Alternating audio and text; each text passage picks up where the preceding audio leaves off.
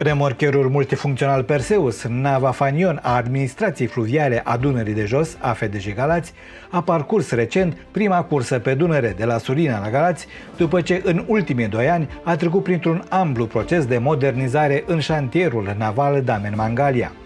Grație acestei investiții, în valoare de aproape 10 milioane de euro, Perseus și-a regăsit a doua tinerețe. Lucrările de modernizare au presupus, printre altele, o remotorizare completă, schimbarea echipamentelor de comandă și control, precum și dotarea cu capabilități sporite de intervenție. De la începutul proiectului uh, s-au pus diferite echipamente, inclusiv motoare principale, reductoare, uh, pompe, și restul uh, uh, echipamentelor de pe acest uh, remorcher au fost aduse noi, comisionate de șantierul Damen Mangalia și în final probele de mare, care au fost un real succes și într-un timp deosebit de scurt. Din punct de vedere tehnică, care a fost, știu eu, lucrul cel mai dificil? Ca de obicei, la orice navă, cel mai dificil lucru este linia de propulsie. Uh, aceasta a fost o provocare pentru noi, deoarece au fost îmbinate echipamente noi cu echipamente vechi și puse cap la cap au, uh, au adus uh, un foarte mare plus acestei nave. În cadrul operațiunilor de modernizare, vechiul bloc de comandă a fost tăiat în totalitate și a fost înlocuit de o structură modernă ce cuprinde echipamentele de comandă și control de ultimă generație. Nava este modernizată în proporție de 100%, are um, comenzi în aripi, are comenzi pe pupa pentru facilități de uh, platforme portoare și platforme petroliere maritime. Uh, EGDIS, radar ARPA, radar uh, X-band, calculatoare, sonde, GPS, tot ce este nevoie pentru pentru a navega în condiții de siguranță. Sala mașinilor este o veritabilă uzină, iar puterea motoarelor care propulsează nava Perseus este de 6600 de cai putere. Ne aflăm acum în uh, sala compartimentelor motoarelor principale.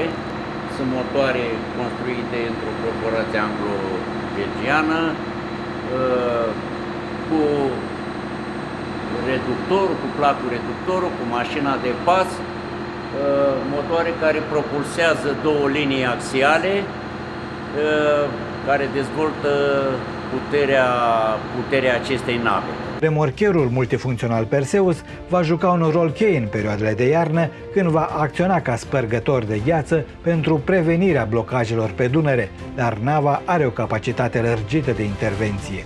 Capabilitățile de intervenție ale navei sunt uh, uh, o pompă de ramfulare pentru navele care sunt avariate și iau apă, uh, instalații de stins incendiu pentru navă de salvare dedicate, uh, o, un uh, cârlig de remorcare cu 100 de, peste 100 de tone forță înregistrate la testul de Bollard Pool, două vinciuri de remorcaj în mare liberă cu remorci lungi de 800 de metri, uh, magazii care pot transporta provizii la platformele petroliere.